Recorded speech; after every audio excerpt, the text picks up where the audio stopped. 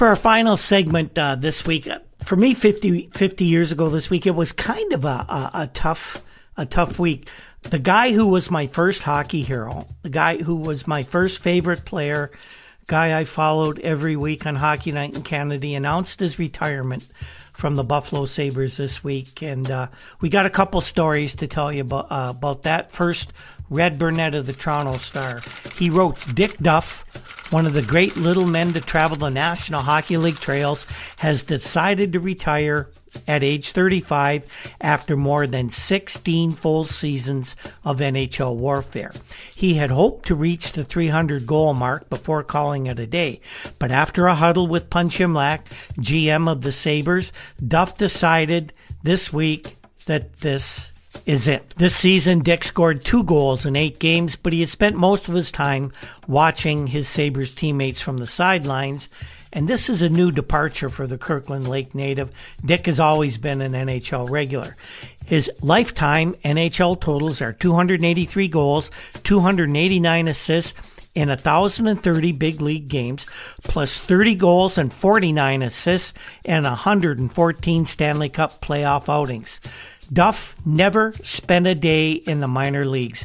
He had a three game trial with the Maple Leafs in 1954 55, coming up from St. Michael's Juniors, and he turned pro with them the following season, even though he had a season of junior eligibility left.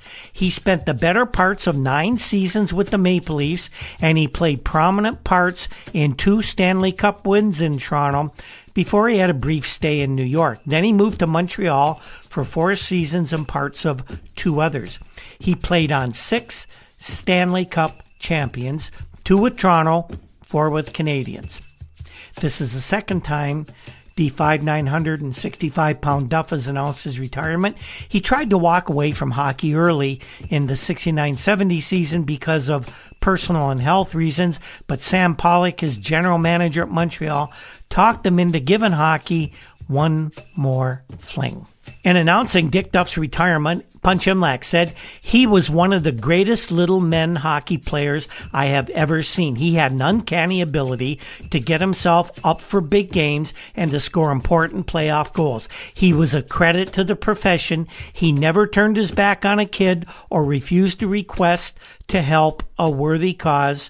His integrity, courage, and dedication shone through like a beacon more than matched his ability. And I have personal experience with Dick Duff and can say all that Punch Imlach said there was quite true. The Globe and Mail's Dick Beddoes also had a tribute to Dick Duff uh, this week, and this is what he wrote. He said, T. Richard Duff, the biscuit colored athlete who once played left wing for Toronto Maple Leafs, announced his retirement from the big league this week. After more than 16 seasons in the big league, Duff said he'd like to spend Christmas with his parents in Kirkland Lake, Ontario. The NHL schedules, of course, have not allowed for such compassionate holidays. His announcement inspired a few letters and telephone calls, all thick with nostalgia. Such reaction seems completely right to me. Toronto has seldom had among its notable athletes a more attractive fellow than Dick Duff. Beddoes then relates a story of the letter that Dick Duff wrote uh, when he was traded on February 22, 1964, from the Maple Leafs to the New York Rangers. The letter wrote was written to my friends in Toronto. Due to the suddenness of my recent trade to New York, it was impossible for me to adequately express my appreciation for the favorable manner in which I was always accepted in Toronto. Dick spoke well of the Maple Leaf management, of his Toronto teammates, and of Major Conn Smythe for the dignity and character he has endowed at Maple Leaf Gardens.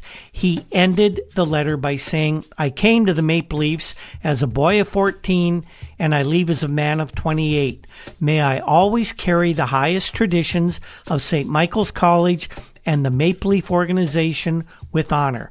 When my days in New York are over, I shall return to the city and to the people I know. Dick won four Stanley Cups in Montreal after the two he won in Toronto, but the chances are, in spite of his Montreal accomplishments, he'll always be remembered as a Maple Leaf. His generation included Bonin, Brewer, Keon, Pulford, Harrison, Mahovlich, Nevin, Armstrong, Kelly, Stewart, Arbour, Olmstead, Stanley, Shack, Litzenberger, Bauer, and Dippy Simmons. He scored the winning goal against Chicago in the last game of the 62 playoffs, the winner in the first of three consecutive Stanley Cups for Toronto and their first since Bill Barilko's goal 11 years earlier. In 1963, in the first game against Detroit for the Shinny Championship of Civilization, he made the late Terry Sawchuk resemble a character out of The Ancient Mariner. In the first two minutes, the Detroit goalkeeper could have played for the wedding guests in Sam Coleridge's epic. He stopped just one of three shots. Duff beat Sawchuk for two quick goals, as impersonally recorded in the Stanley Cup files. The record says fastest two goals from the start of a game and period, one minute, eight seconds. Dick Duff, April 9th, 1963. Duff scored at 49 seconds and at 108. Final score Toronto 4, Detroit 2. Memories are made of that. Now Duff retiring at uh, 36 shortly. He says he'd like some uh, non playing job in hockey, and he deserves one. I met Dick Duff uh, actually in person for the first time a couple days after 9 11, believe it or not. That week, we had scheduled uh, an evening in Port Colborne to honor uh, Teeder Kennedy at a, a place called the Roselawn Center. I was going to be the host of the evening. We were going to have Ted on the on the stage, and basically, I was going to interview him something like a, a Michael Landsberg off the record thing. Only very little controversy, that's for sure. Teeder told me that he didn't feel he could carry a session for an hour and a half, which I, I, found unbelievable. We would sit for hours in his home in Port Colborne and talk about the old days. But Teeder said he'd like to have somebody else on the stage with him, and I asked him who he would like to have there, and he said Dickie Duff.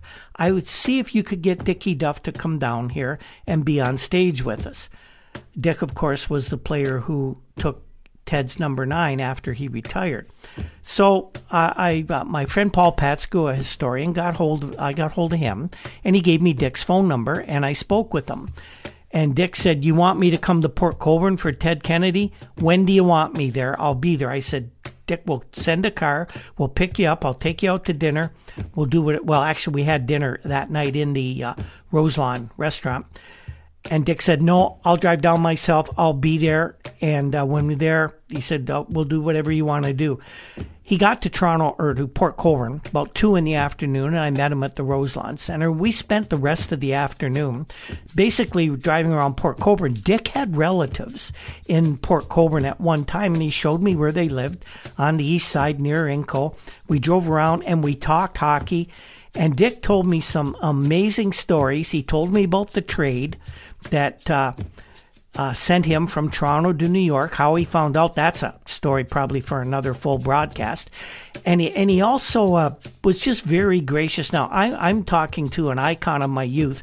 I was afraid I was going to be terribly tongue tied, but it turned out he put me completely at, at ease, and we had a great afternoon uh, talking about hockey uh, and memories of all, all types. That night, when we had the presentation, Dick brought in uh, something that it was really nice. He had thought of this. He got a hockey stick, uh, a mini stick, it was, that he had autographed at the Maple Leaf practice that day. And I believe it, it was Curtis Joseph, Mats Sundin, uh, I think George Armstrong signed it. There were a couple of other signatures. And he asked that we give it to a deserving young hockey player. And I found a young guy who was having uh, to, having to quit playing hockey because of some uh, uh, health issues anyway, and we got the stick to him.